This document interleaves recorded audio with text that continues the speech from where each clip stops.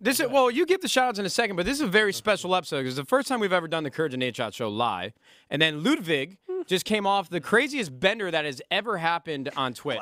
The new sub count leader mm-hmm. overtook Ninja's like phenomenal run on Fortnite. I mean, you are the king of Twitch. Do you want to hear something fucked up? yeah. Okay. Of, of course. It's a month.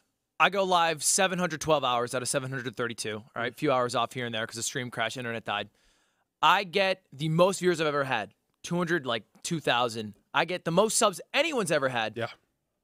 Don't don't. This do guy got more viewers than me in that same period. He had a higher peak. Stop. Yeah. Stop. Karl, what do I have to fucking do out here? No, do you- I have to be naked, show my ball sack for the viewers? Yeah, we can I, do that. I've do that. considered That that. could work. That could Yeah, work. it's good to. It's actually shot. good to get banned. I've realized that.